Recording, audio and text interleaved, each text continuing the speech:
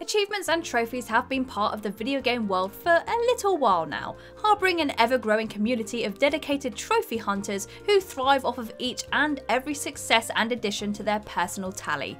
The concept of achievements is pretty straightforward. You are rewarded for accomplishing a certain task within any given game.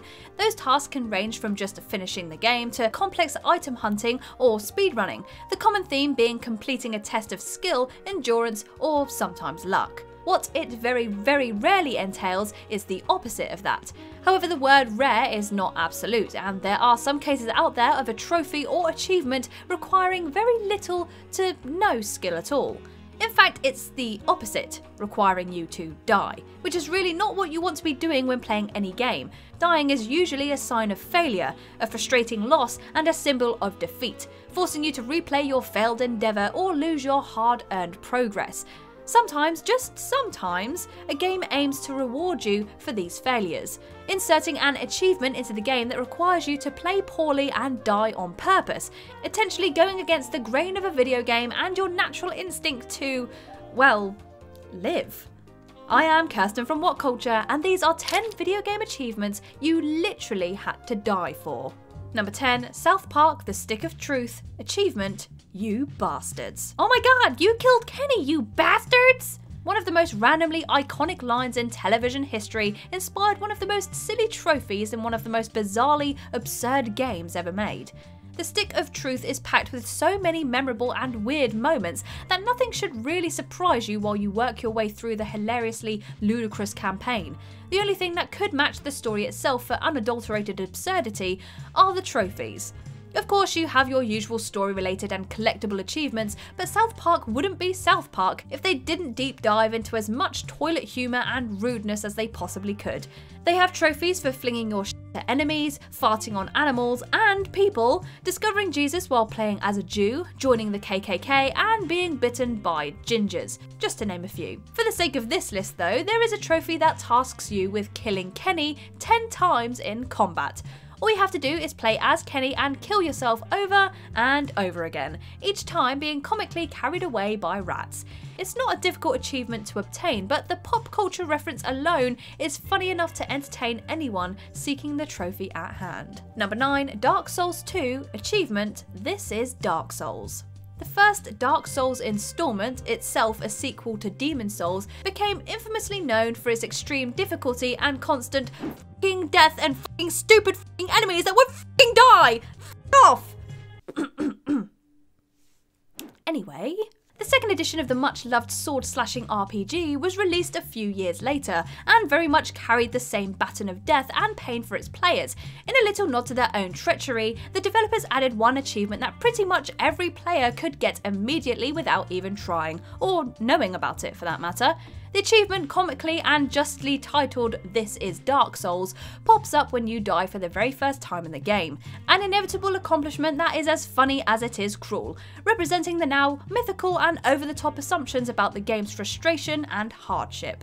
Number 8, Middle Earth Shadow of Mordor Achievement Rise and Fall. Shadow of Mordor's fascinating Nemesis system didn't quite turn out to be the game changing asset to the industry that many expected when the game was released in 2014, not really taking hold in many titles since, but its unique form of NPC interaction certainly turned some heads nonetheless.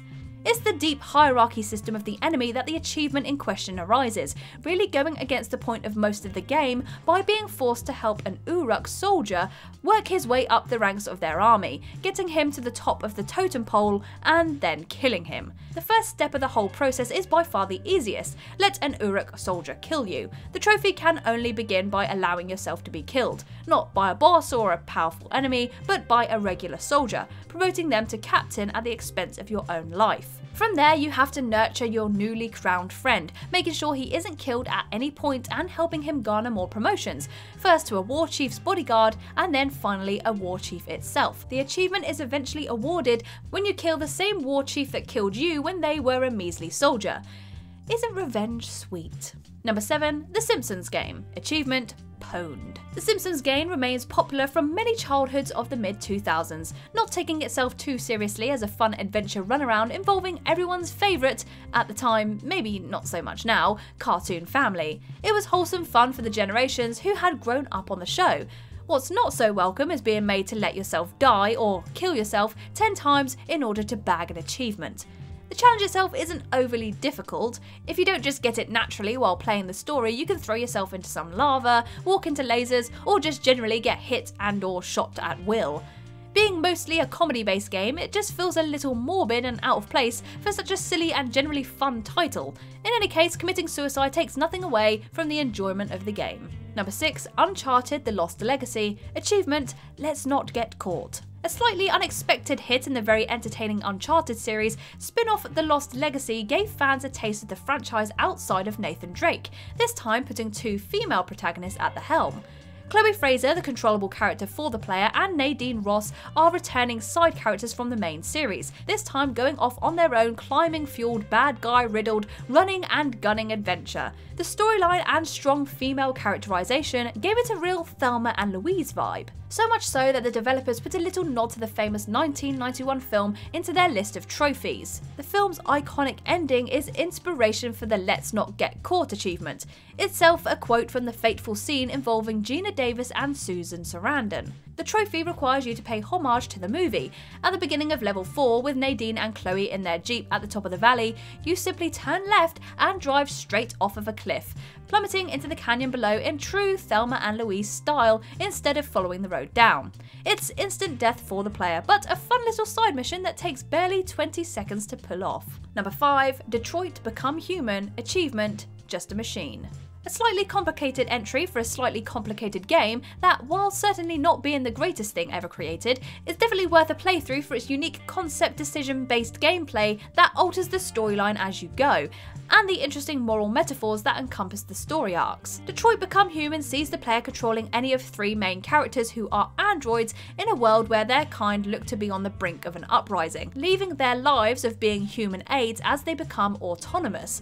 At the game's beginning, most androids are still very much a part of society, working as anything from house cleaners to police investigators, which is where one of the main characters, Connor, comes into play.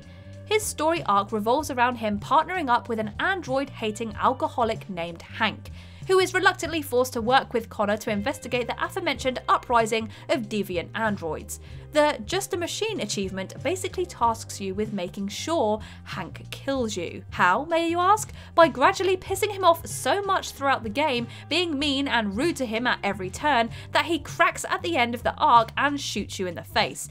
Your trophy is provoking an alcoholic to such a degree that he puts a bullet in your head. Charming. Number 4, Alien Isolation. Achievement 100 times too many. Alien scared the out of people when it hit cinemas in 1979, launching a decades long franchise that is still running to this day.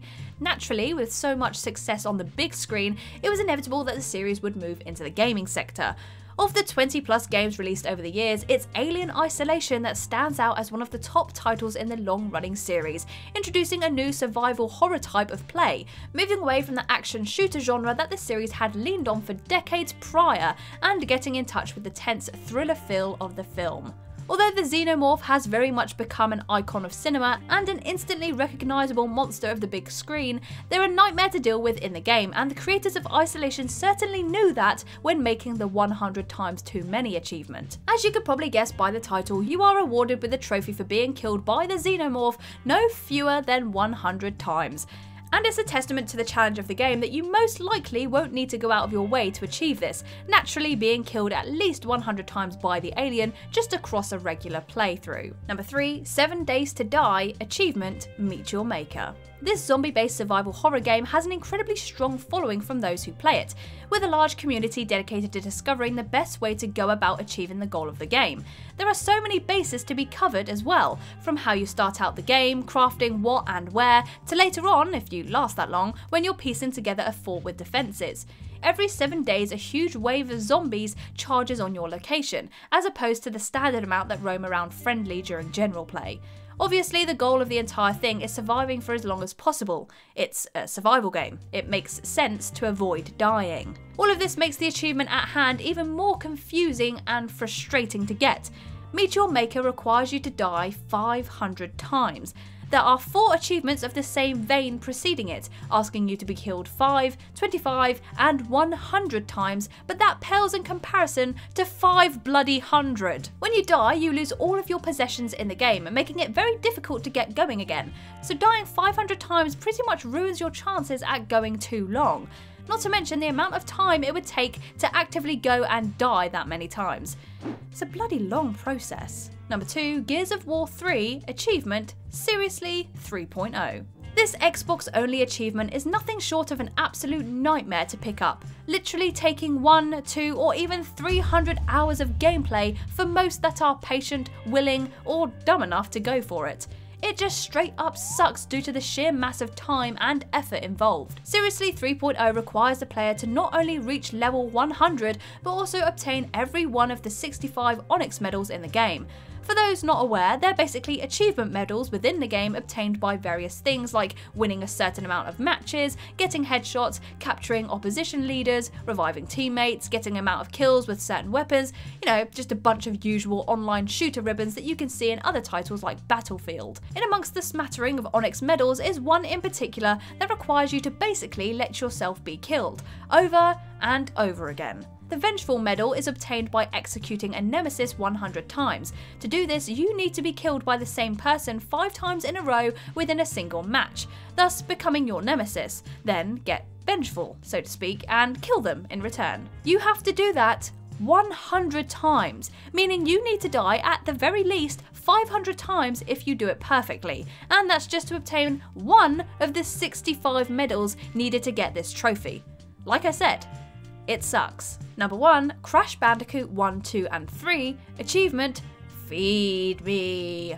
I see London, I see France, Crash cubed, buzz off, warts and all, keeping Crash under wraps. This one covers all three of the Crash Bandicoot N. Sane Trilogy titles, with each game having two different trophies asking you to die in separate ways. It might not be asking you to die 500 times like others on this list, but it's one of the more entertaining series of deaths to go after, and gets bonus points for running for the entire trilogy. Some of them are fairly basic, like being eaten by a Venus flytrap or being killed by a swarm of bees. Others require very specific levels, like being killed by a wizard spell or a mummy after you've knocked it out of its sarcophagus, both being in only one or two levels in Crash Bandicoot 3 Warped. The trickiest and most time consuming is Crash Cubed, an achievement that can only happen while riding a polar bear that appears on two specific levels. It involves a lot of timing, forcing you to jump into an ice block as it's being lifted by two henchmen to fall off the bear. If that wasn't enough, you can only get the trophy if you then fly into a body of water and drown. Brutal stuff. On a lighter note, I see London, I see France makes you get electrocuted so your pants fall down, so that's nice. And those were 10 video game achievements you literally had to die for. If you managed to get any of these achievements, leave us a comment below and let us know. If you liked this video, give it a thumbs up, and if you haven't already, hit that subscribe button. But for now, I have been Kirsten from What Culture, and I will see you in the next video.